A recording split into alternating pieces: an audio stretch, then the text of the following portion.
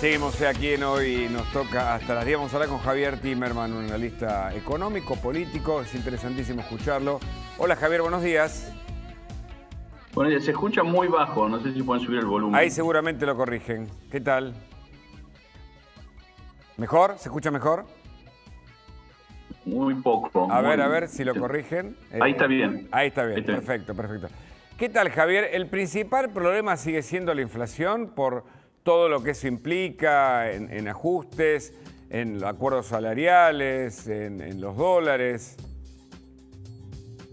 Mira, eh, yo lo estaba hablando ayer con unos con inversores eh, de afuera, hablando un poco del contexto global. Sí. Y lo que decíamos, para llevarlo un poco fuera de la Argentina, porque si no el debate se hace bastante repetitivo, pero tuvimos 40 años de estabilidad inflacionaria en Estados Unidos, 40 años y 40 años del 80 al 81 al 2021, llamémoslo, donde se emitió muchísimo dinero, donde las tasas eran a veces por debajo de cero eh, en, muchos lugares del mundo, y sin embargo no había inflación, y de repente hubo inflación. Y no es que un evento eh, desencadena, sí, un evento desencadena, pero viene con una historia atrás. Eh, entonces después tuvimos la pandemia, tuvimos eh, la crisis energética, producto de guerras, etcétera, pandemia, eh, crisis de oferta y de repente se destapó la olla y había un montón de cosas atrás. Y ahora no es fácil, no es fácil volver atrás. en la Argentina, pensemos también que la inflación, por ejemplo, en Estados Unidos, que es 8% anual, eso significa que vos año a año sos 8% más pobre. O sea, si vos no haces nada, tenés tu, tus cosas, qué sé yo, vos tu poder adquisitivo cae 8% en un año. Es muchísimo, es muchísimo, imagínate. Entonces, en la Argentina eso viene pasando hace mucho tiempo y es 100% de inflación anual. Eso es muy complicado cualquier cosa, cualquier eh, plan económico, cualquier eh, plan de inversión, que es lo que te termina sacando de la inflación, Todas estas cosas se hacen muy difíciles para las empresas. Entonces, ¿qué pasa? Se pierde confianza en la moneda y se ponen cepos que de alguna manera te limitan que haya un proceso de evaluatorio o que la gente pueda hacer lo que quiera con la plata.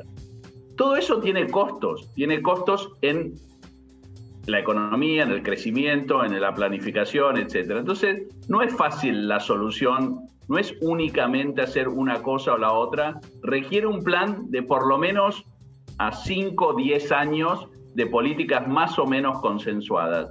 Y, yo no veo, o sea, te soy sincero, no veo que eh, la política argentina eh, esté eh, pensando en eso como una solución. Piensan en el corto plazo, piensan en, bueno, la oposición dice, bueno, vamos a hacer gobierno, vamos a hacer las cosas diferentes. Pero me parece que si no tienen un pensamiento un plan que sea de largo plazo, nos vamos a chocar con esta misma incertidumbre porque la gente eh, no confía. Claro. Bueno, pero para eso hay que lograr acuerdos con la oposición, porque el que venga ya se, discute si es yoco gradualismo. Evidentemente hay algunas cuestiones de reforma estructural que habrá que hacer, pero eh, el plan masa es el plan llegar. Eh, y se puede llegar así porque claramente este desbarajuste que produce la inflación y que impacta en todos los sectores de la economía, eh, genera estas colas en el ANSES eh, y, un, pobrismo eh, que institucionaliza la limosna de parte del Estado, en, algún sentido, ¿no? Sí, yo creo que la verdad que lo que está garantizando hoy la posibilidad de llegar es que Sergio Massa esté en el Ministerio de Economía. Si no estaría, o si renunciaría, eh, tendríamos una situación bastante peor de la que vivimos en julio, eh, donde tenía, eh, exacto. Entonces, el gobierno me parece que ahora está en una, tiene que dos caminos, asumiendo que se prepara para una derrota digna. si hace ajuste y un poco de recesión para tratar de hacer política más razonable y de esa manera conservar y entregar el, gobierno o, ser un poco más competitivo electoralmente, o siempre va por la solución del 2021 de más plata, más inflación y ver cómo llegan. Eh, yo creo que en una economía con cepo, el principal riesgo que vos tenés es que no te financien eh, el, tema de la refinanciación de la deuda que ya está emitida, deuda en pesos, que es mucha. Eh, estamos hablando de 7.5 del producto para renovar el año que viene. Como les decía antes, hay un cepo, eso hace que la gente no pueda ir a, escaparse de invertir en pesos, pero de todas maneras es un número importante. Y en julio, antes de la renuncia de Guzmán, eh, tuvimos un, tema ahí con el refinanciamiento de la deuda y tuvo que intervenir el Banco Central, etcétera. Yo creo que no va a pasar, no va a haber un evento mientras Massa dé cierta tranquilidad a los empresarios, porque nadie quiere un evento crediticio en la Argentina. La Argentina no tolera más un evento crediticio. Yo eh, eh, espero, y, cuando yo hablo con economistas de la oposición o, gente que está asesorando a los candidatos, les digo, no vayan por una solución que implique un refinanciamiento, una reestructuración más que refinanciación, una reestructuración, porque eso va a tener un costo reputacional muy alto para la Argentina, eh, porque ya sería la segunda vez que se reestructura la deuda en pesos. Entonces, yo creo que eh, va a haber un esfuerzo por parte de Sergio Massa de que esto vaya eh, y de ir viendo, cosa de ir solucionando temas puntuales, no temas generales, sin reformas estructurales, sin nada, pero tratar de llegar y que después el impulso electoral mismo te lleve a eh, un ordenamiento o, cierta tranquilidad hacia, hacia las elecciones. Eh, un poco lo opuesto a lo que pasó en el 2019.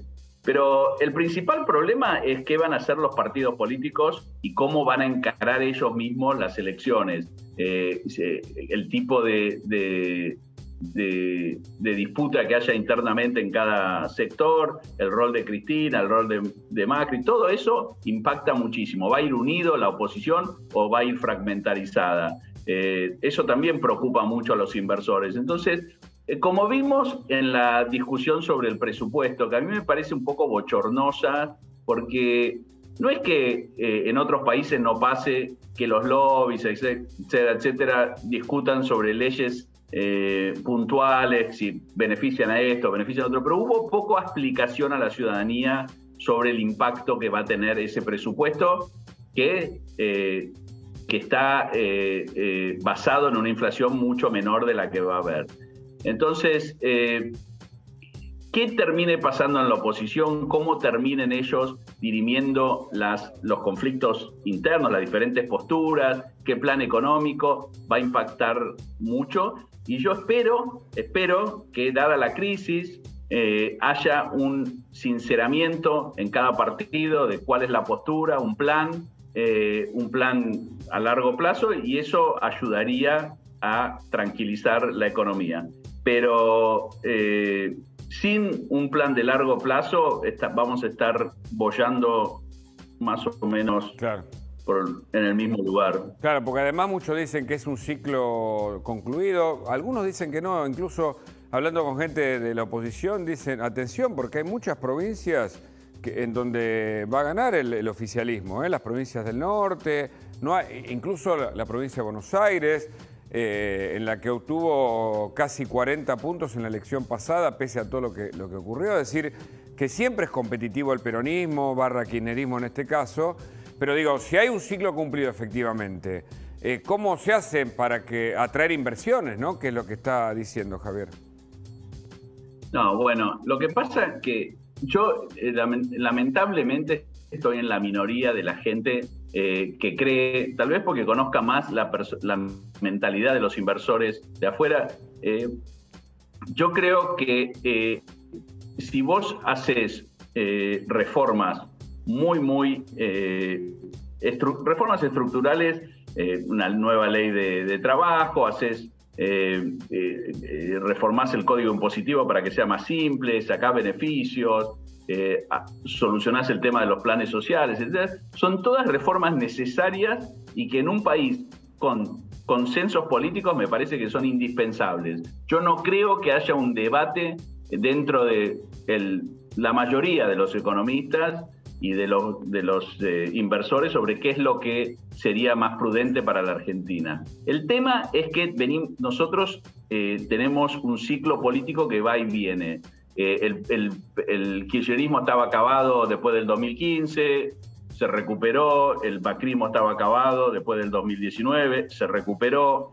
Entonces, tenemos una historia donde generalmente si no logras consenso, vuelve la oposición incluso más radicalizada, ya sea eh, vuelve el, kirchnerismo más eh, eh, decidido a aplicar las políticas que ellos consideran, o vuelve, como está pasando ahora, sectores de la derecha, que, apuntalados por Milei y otros, que creen que no, hay que, hay que ir y dinamitar el Banco Central, etc. Yo creo que eso no va a funcionar.